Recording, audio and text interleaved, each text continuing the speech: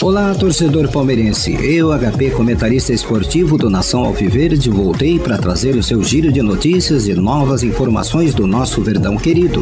Peço agora para que vocês se inscrevam em nosso canal e ativem o sininho das notificações para poderem receber todos os dias as novidades do nosso grande e amado Verdão querido. Então põe na tela aí, Gustavão.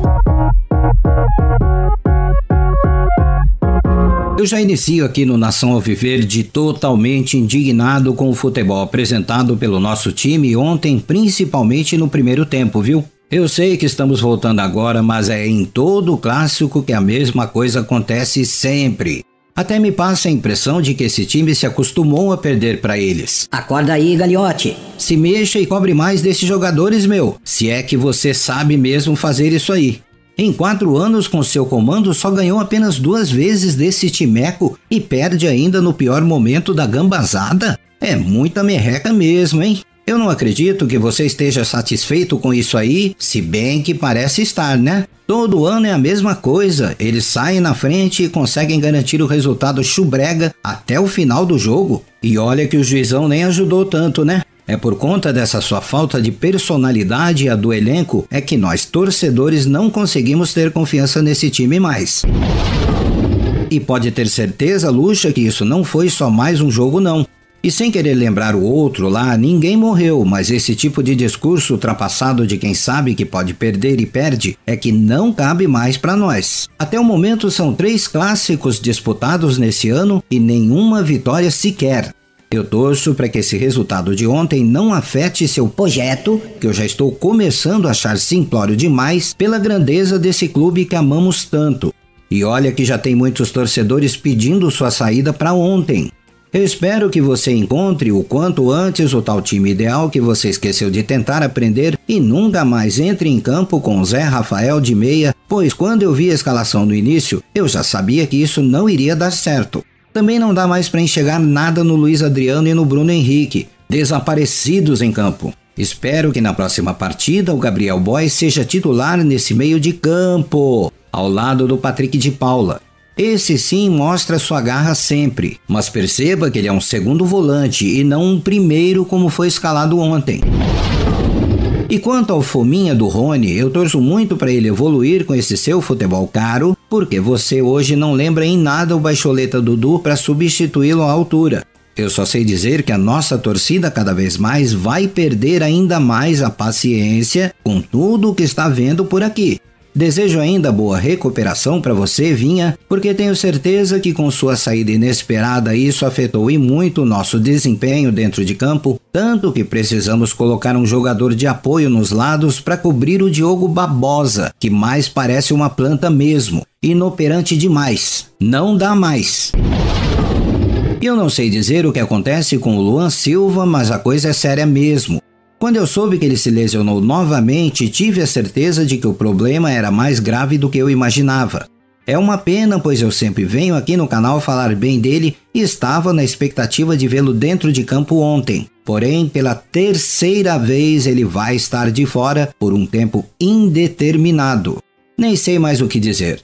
Eu espero que esse departamento médico saiba conduzir melhor esses problemas de contusão desse nosso elenco, porque apesar de ter passado quatro meses sem futebol, a coisa continua cada vez pior e a tendência é ter maior número de lesões com essa volta precipitada das partidas nessa paralisação, mesmo a maioria querendo essa volta. Está até aparecendo aqui na cidade de Campinas que reabriu o comércio antes da hora e agora estamos colhendo os maus frutos e podres de um maior número de contaminados que poderiam ser evitados, não é mesmo? Claro que guardadas as devidas comparações. Eu sei também que essa grana da Glóbulos destinada aos clubes paulistas será muito bem-vinda, hein? Pelo que pude ver, ela vai liberar cerca de um milhão de reais para os clubes grandes e digo que por causa desses pagamentos é que foi praticamente unânime a decisão dessa volta do campeonato. Eu sei que o nosso presidente tentou resistir, meio que ajudando o seu amiguinho imaginário sem chances por um determinado tempo, mas ele também viu que a gente não tem tanto esse caixa que imaginávamos para poder aguentar uma paralisação do futebol até o ano que vem. Eu espero que o problema com a Turner seja resolvido logo e eles entrem com um acordo, porque eu sei que o dinheiro deles fará muita falta. Ajuda nosso Verdão aí, Turner. Vocês sabem que os palestrinos todos damos grande audiência para vocês, não é? Se liga na liga! Outra coisa que não sei é quem foi que tomou essa atitude, mas eu gostei de saber que o Ivan Angulo, aquele que foi sem ter ido e que agora volta de novo sem voltar com expectativas de jogar, mas ao certo ele estará de volta para jogar algum dia, enquanto seu contrato durar aqui no Verdão no time profissional. Mas como assim, HP? Não entendi essa sua analogia. Pois é, meus amigos, eu também não entendi muito bem, mas ainda bem que perceberam que não era nem para ele ter sido emprestado. Eu custo acreditar que essa volta vai nos ajudar um pouco com esse lado de campo por conta da saída do nosso ídolo e viram que a volta dele para cá seria bem-vinda. Sei lá, confesso que nem eu mais sei ao certo, só sei que sei que nada sei.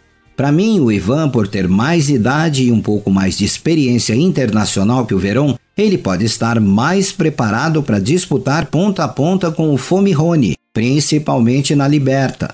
Em todo o caso, eu quero esperar para ver o que vai acontecer, mas para mim, nessa liberação do Cruzeiro, eu acredito que podemos emprestar outro jogador da base para eles para ir para lá agora, mas eu não sei quais são os nomes que estão em pauta, mas se eu souber, eu venho trazer aqui no canal para vocês o que eu penso sobre o assunto de emprestar e continuar pagando 100% dos salários. Aliás, acho que vocês até sabem, não é?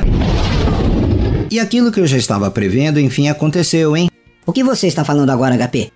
Eu, na terça passada, falei aqui para vocês inscritos de que o nosso Palmeiras poderia ficar de olho nessa situação de certos jogadores do nosso rival Santos. Eu até falei aqui que poderia oferecer alguns jogadores do nosso elenco que estão encostados, e pelo que eu fiquei sabendo agora, o nome do Carlos Sanches foi então oferecido para gente e também para outros clubes brasileiros. Mas eu sei que se for contra a vontade do Santos essa saída, pode ter certeza que a nossa diretoria vai recusar sem pestanejar, pois as duas gestões têm uma certa amizade. Só vou deixar claro ainda que a procura veio por parte do empresário do uruguaio e, além do mais, tem outro jogador deles que eu tenho que falar que também foi oferecido e ele é o Marinho, que pelo que eu estou vendo também está insatisfeito por lá, aos prantos, e é muito improvável que sua permanência seja garantida por lá na Baixada devido à baixa estima de certos pescadores de dinheiro.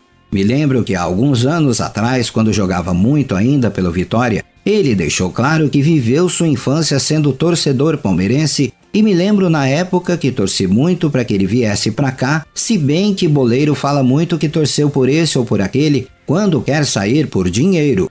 É meio que topa tudo por dinheiro, aoiem! Assim mesmo, eu agora vou esperar do nosso presidente confuso, que mais parece jogador de bote aposentado, para saber se a diretoria tem interesse nesses dois jogadores agora, não é mesmo? O que vocês acham sinceramente? Eu quero saber a opinião exata de vocês inscritos se são mesmo a favor de uma possível vinda desses jogadores para cá.